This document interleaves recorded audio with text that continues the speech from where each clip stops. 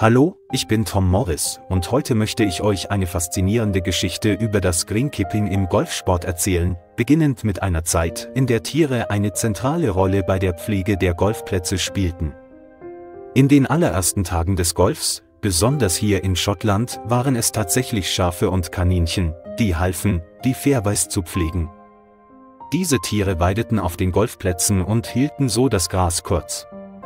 Ihre natürliche Beweidung war entscheidend, um die Spielflächen spielbar zu halten. Doch diese Methode war natürlich nicht perfekt, unebene Stellen und Schäden durch die Tiere waren häufig.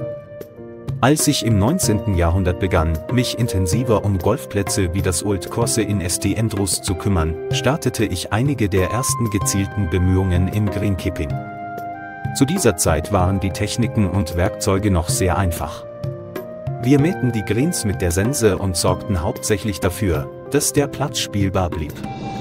Mit der Zeit, als Golf an Popularität gewann, entwickelte sich auch das Greenkeeping. Im frühen 20. Jahrhundert brachten technologische Fortschritte wie die Erfindung der ersten motorisierten Rasenmäher eine Revolution in der Platzpflege. Diese Maschinen ermöglichten eine gleichmäßigere und effizientere Pflege der Golfplätze.